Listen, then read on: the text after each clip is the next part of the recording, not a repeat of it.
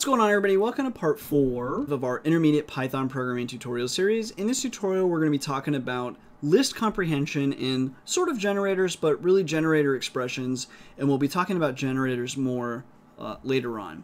So first of all, to start, uh, one of the most common generators that you've probably been using is range. So when you say for i in range of 5, this does not generate a list 0, 1, 2, 3, 4. It's a generator, and it, it's a, it generates a stream in the range of 0 to 5, which is produces 0, 1, 2, 3, 4.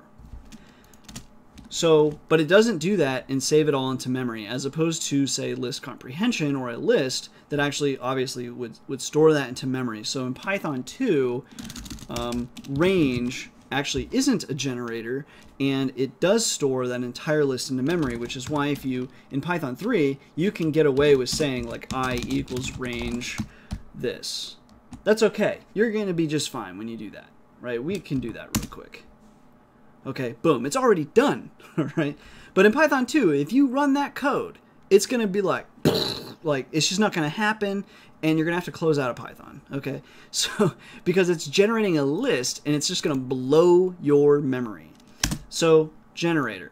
Now, fundamentally, we'll, I'll have to keep hitting this point as we go through this, this entire course, really.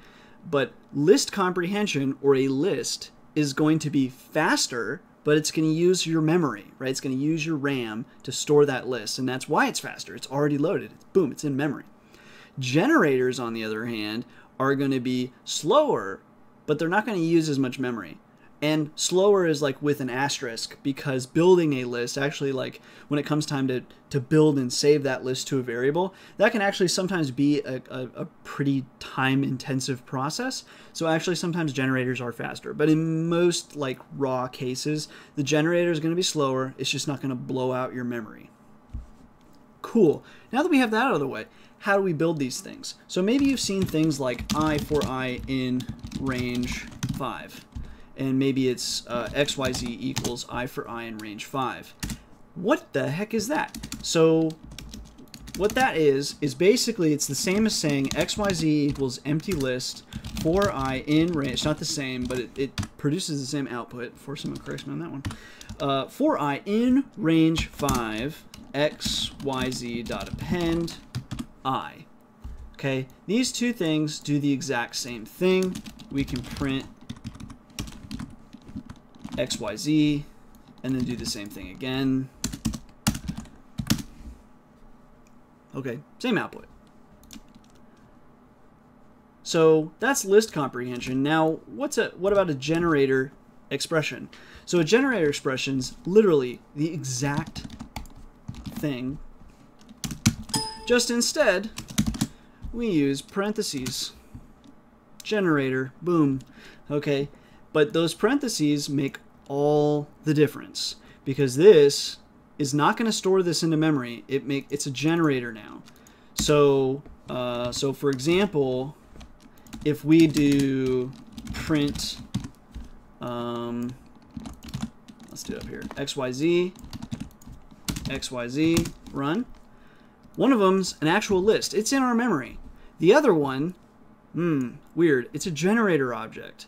And what do we do with a generator object? Well, as you might guess from before when we did i for i in range 5, you iterate over a generator object. So in this case, you would say for i in xyz, print i, and then you're able to iterate over it. But the magical thing about a generator is it was not, it didn't store that range, um, or didn't store this, right, as a list, 0, 1, 2, 3, 4, as opposed to this one. So if this range instead was this,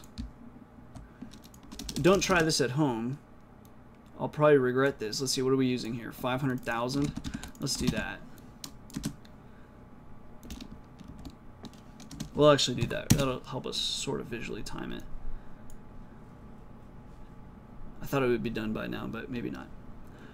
My goal is to show you that as soon as pretty much the list comprehension is done, the other range would be done. Surely a range of 5,000 is not too much to ask. It's too much to ask everybody. I'm so sorry. oh my gosh, we're still. Oh, the problem is we're printing. Okay, yeah. No, that's the problem. Sorry, dumb. Of course. Let's open that back up again. I'm pretty sure that's the problem. Let's just say done. Try again. Okay, yeah.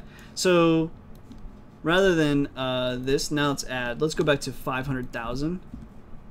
Or what is this? 5 million. That's 5 million. That's okay. We'll do 5 million. Yeah, okay. 5 million is acceptable. 5 billion. Okay, that one's taking a little longer.